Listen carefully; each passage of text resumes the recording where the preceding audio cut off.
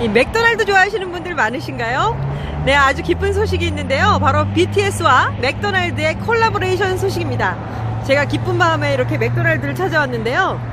네, 이번 5월에 맥도날드에서 BTS 세트가 출시가 된다고 합니다. 전 세계 50개국에서 출시된다고 하는데요.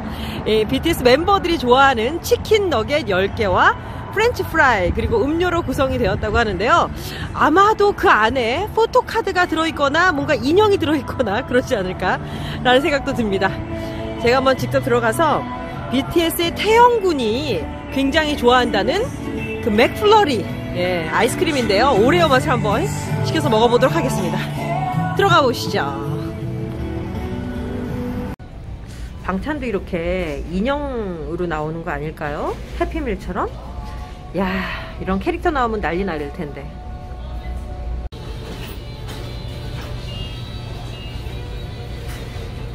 Hi. Can I have Oreo McFlurry? And one nuggets and one uh, french fries. Uh, what number is it? One to six, ten, or twenty? Just six is okay. You want the meal on that one? Yes. Can I have a coke?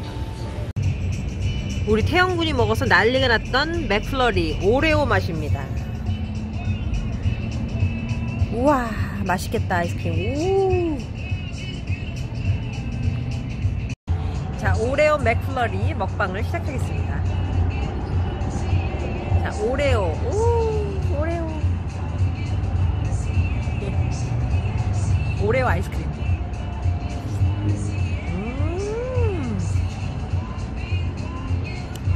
아우 차가워요. 맛있어요. 오레오 맛.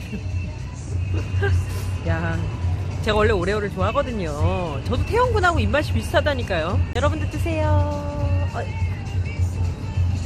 아, 안 보인다. 예, 오레오입니다, 오레오.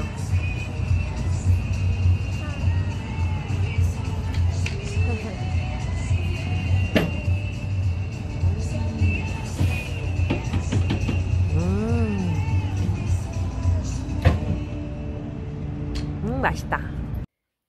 네, 세계 최초로 출시되는 BTS 세트는요, 이 치킨 너겟 10피스와 그리고 프렌치 프라이, 그리고 소다, 이렇게 구성이 되는데요. 근데 이게 굉장히 맛있을 것 같은 게요. 소스가 한국 맥도날드에서 만든 sweet chili, 그리고 케이준 소스가 들어간다고 합니다. 약간 고추장 맛이지 않을까라는 생각이 듭니다. 예, 케첩이나 이 ranch보다 훨씬 더 독특할 것 같습니다.